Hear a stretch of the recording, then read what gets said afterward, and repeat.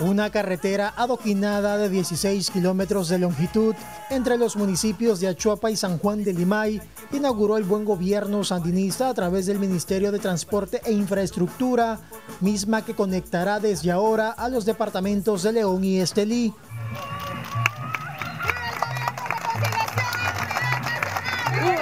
La clave de todo esto tiene que ver con la sabia conducción, con el manejo correcto del comandante Daniel y la compañía Rosario, a Chuapa, San Juan de Limay y Nicaragua entera, agradecemos infinitamente y comprometidos eternamente con nuestro comandante Daniel, con la compañía Rosario y con el Frente Sandinista de Liberación Nacional por haber hecho de estos municipios unos municipios diferentes.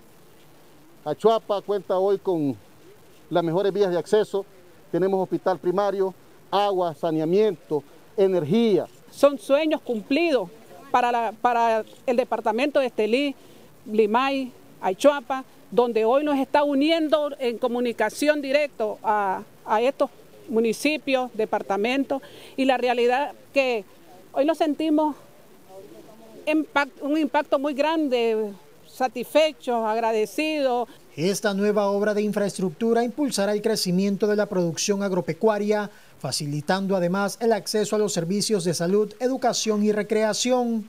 Indudablemente es una formidable obra de progreso en la cual nuestro gobierno de reconciliación y unidad nacional ha invertido 420 millones de córdobas y tiene una enorme importancia para elevar la producción, para elevar la productividad para llevar a, cabo cualquier tipo de emprendimiento económico, para llevar a cabo los beneficios sociales y hacerlos efectivos entre la población más necesitada. En ella hemos empleado más de 2.300.000 adoquines y además se han construido en esta misma obra cinco importantes puentes. Un gran logro para los habitantes del municipio de Achuapa, San Juan de Limay y por qué no decir Sauce, León, Villanueva, esta carretera ha venido a beneficiar grandemente a todos los productores, a todos los, habitantes. Realmente yo como productor ¿verdad? he visitado bastante el municipio de San Juan del, el del municipio de Achuapa.